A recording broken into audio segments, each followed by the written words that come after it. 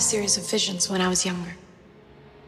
And after each one ended, the same thought would be stuck in my head. What did you see?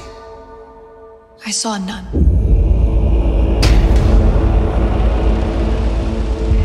Word of my visions reached the church, and I was asked to accompany a priest to an abbey in Romania. The Abbey has a long history.